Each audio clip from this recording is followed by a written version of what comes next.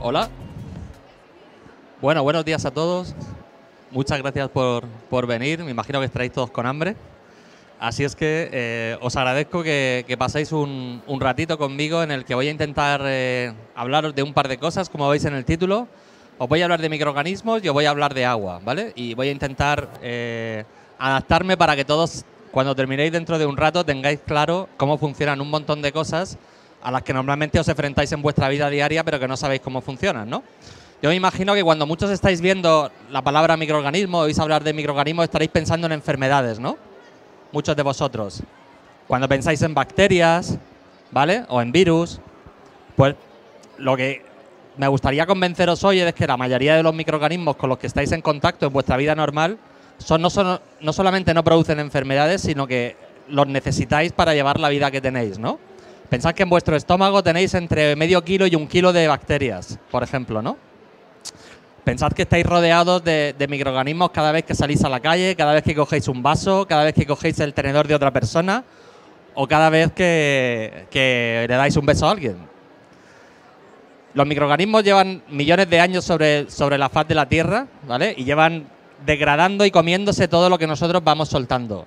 De hecho, cuando llega el otoño ¿no? y se caen las hojas, sabéis que en unos meses esas hojas desaparecen, ¿no? Llega la primavera y todo lo que se ha caído ha desaparecido.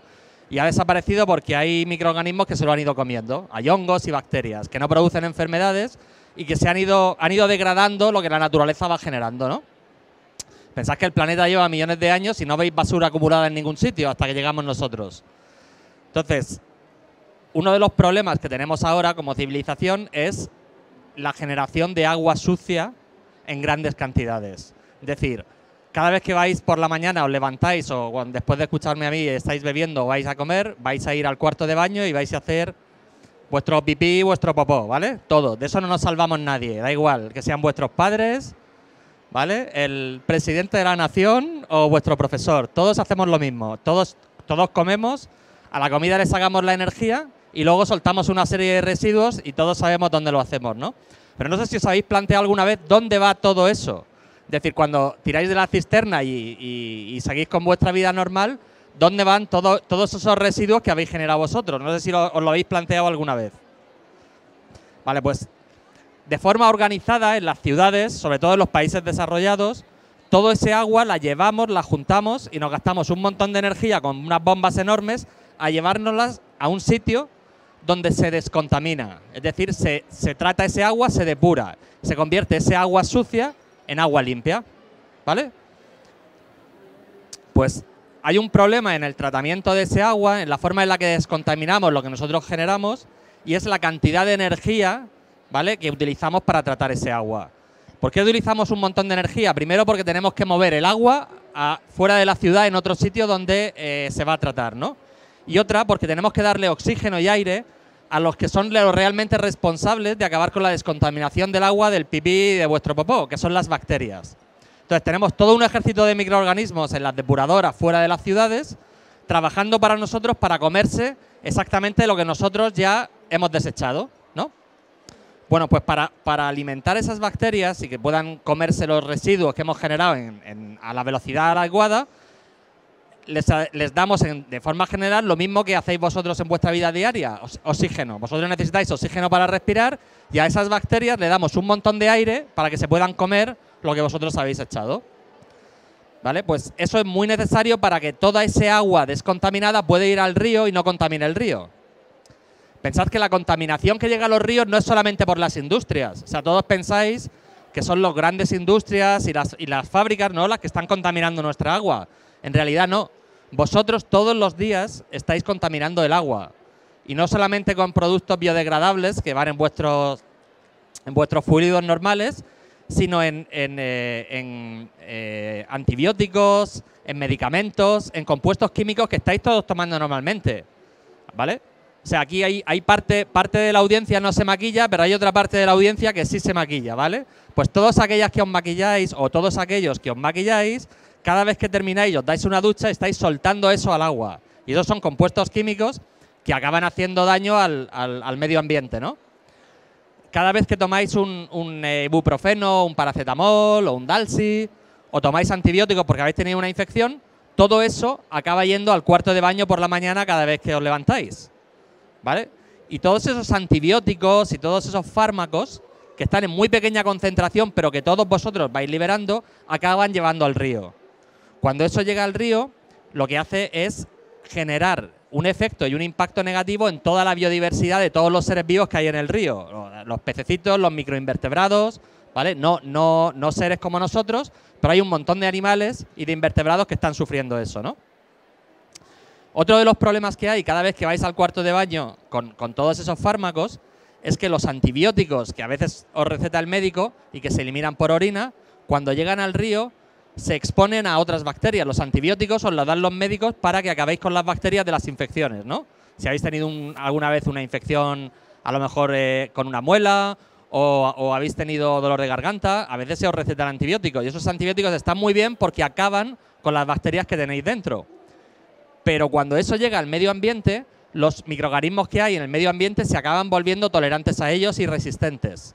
De tal manera que podéis tener microorganismos que son más resistentes a las enfermedades, en parte porque vosotros estáis todos los días soltando una pequeña concentración de antibióticos al agua, ¿vale? Y eso acaba llegando. Entonces, es muy importante que ese agua la tratemos y la descontaminemos antes de llegar al medio ambiente.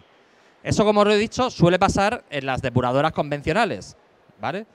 Pero eso gasta un montón de energía. Cuesta un montón de dinero limpiar ese agua. Porque ayudar a los microorganismos a que lo hagan a una determinada velocidad cuesta energía. Y sabéis que ahora hay un problema con la energía. La energía cuesta mucho dinero, ¿vale? Y hay que intentar ahorrarla de donde podamos. Así es que hay formas alternativas que hemos desarrollado para utilizar microorganismos que descontaminen el agua, pero no en grandes depuradoras fuera de la ciudad, sino en nuestras propias casas.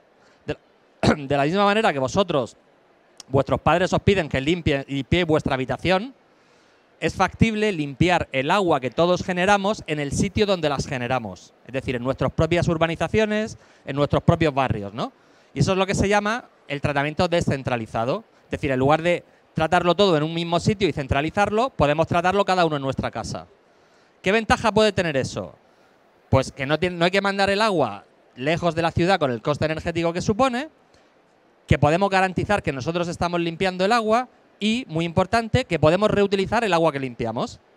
Es decir, en lugar de estar todo el día consumiendo agua limpia, agua nueva, podemos tratar ese agua dentro de nuestras casas o dentro de nuestras urbanizaciones, limpiarla de una forma sostenible y generar un agua que podamos reutilizar, por ejemplo, en riego, ¿de acuerdo? O, por ejemplo, en las propias cisternas. Pensad que estáis utilizando el agua de la cisterna, agua limpia, agua que podríais beber. ¿Vale? Y es un poco absurdo si pensáis utilizar agua perfectamente limpia que podáis beber para tirar de la cisterna y mezclarla con todo lo que estáis soltando por la mañana. Entonces, es muy importante que el desarrollo de la ciencia y en lo que trabajamos nosotros es en buscar tecnologías que podáis utilizarlas vosotros dentro de vuestras propias casas o en vuestros propios centros de trabajo o de estudio. Imaginaos un instituto lleno de gente que estáis todo el día entre clase y clase y en los recreos yendo al cuarto de baño, ¿no? Imaginaos todo ese agua que pudiéramos limpiarla dentro del instituto y reutilizarla dentro del propio centro para el riego, por ejemplo, de los propios jardines. ¿De acuerdo? ¿Eso qué haría? Que el instituto tendría que pagar menos agua limpia y que la depuradora de la ciudad tendría que gastarse menos energía en limpiar el agua que estamos generando todos. ¿De acuerdo? Pues lo importante es que desde hace poco tiempo existen tecnologías y hemos desarrollado tecnologías que nos permiten utilizar a los microorganismos en nuestros propios espacios de trabajo donde vivimos, ¿no? Y eso es a lo que nos dedicamos.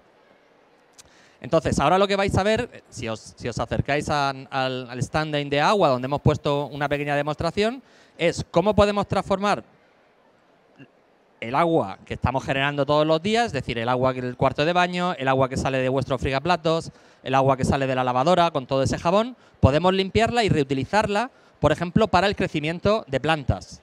Es decir, podemos ser capaces de cultivar lo que nos comemos con agua que está utilizada, está reutilizada después de darle un segundo uso, ¿vale? Pero más importante todavía que en el propio agua, el, el reuso del agua per se están los nutrientes que hay en el agua. Vosotros no, os, habéis dado cuenta, pero cada vez que estáis comiendo, le sacáis a la comida todos los nutrientes que podéis, ¿vale? Ahora mismo estáis creciendo, con lo cual utilizáis bastante más nutrientes que yo, pero va a llegar un momento que hay una parte que no utilizáis, y esa parte que no utilizáis, ¿dónde va? En la orina, ¿no? La orina está llena de nitrógeno, llena de nitrógeno. Y ese nitrógeno es exactamente el que necesitan las plantas para crecer. ¿Vale? Si vais al campo, la gente que trabaja en el campo está harta de utilizar, por ejemplo, como fertilizante los excrementos de los animales y los residuos. ¿Vale? Pero pensad que vosotros, que también sois animales, estáis produciendo fertilizantes. O sea, en vuestra orina está llena de nitrógeno que se podría reutilizar para que las plantas crecieran. Lo que pasa es que no lo hacemos, tal como tenemos organizada la depuración de agua ahora. Sin embargo, con estos sistemas que os estoy contando, que podréis ver ahora en, el standing de agua, es factible transformar directamente la orina en un líquido incoloro, que no huele, que no pasa nada, es perfectamente normal y, eh, sano desde el punto de vista de poder daros una enfermedad, pero todavía contiene todo el nitrógeno que permite a las plantas crecer. Así que podríais no gastar dinero, por ejemplo, y no, tener que estar comprando fertilizantes eh, químicos y utilizar vuestro propio nitrógeno, ¿vale? Y eso lo hacemos con unos microorganismos eh, eh, absolutamente fascinantes que no existían cuando yo tenía vuestra edad, o mejor dicho, que existía pero que no los habíamos descubierto, y que son capaces de producir electricidad, ¿vale? Son microorganismos que son capaces de comerse la materia orgánica, exactamente lo mismo que vosotros, pero que en lugar de vosotros transformarla en pipí popó, estas bacterias las transforman en corriente eléctrica. De tal manera que podéis coger un iPhone, podéis coger vuestro teléfono y conectarlo directamente a estas bacterias que se están alimentando de lo que vosotros habéis producido. ¿Vale? Y a eso nos dedicamos, nos dedicamos a, que podáis descontaminar las aguas de una forma más fácil, utilizando unos microorganismos que no existen, o que mejor dicho, que no se habían descubierto, ¿vale? que los hemos desarrollado aquí en este país y que hemos desarrollado por primera vez una tecnología que ahora se está implementando en todo el mundo. ¿Vale? Entonces, eh, cuando terminéis, si os queréis acercaros al stand, podréis ver cómo funciona un sistema y si alguno está interesado en, implementarlo o en utilizarlo en vuestra casa, en la casa del pueblo de vuestros abuelos o en el instituto en el, que estudiáis, pues eh, solamente tenéis que poneros en contacto con nosotros, nos lo pedís y, y estaríamos encantados de ayudaros para que podáis tratar el agua y descontaminarla utilizando estos microorganismos y si alguno quiere cargar el iPhone o el Android, es más que bienvenido. ¿Vale? Bueno, espero que por lo menos os llevéis a la hora de la comida una idea un poco más clara de cómo podemos utilizar microorganismos que no producen enfermedades para limpiar los residuos que todos generamos. ¿De acuerdo? Muchas gracias.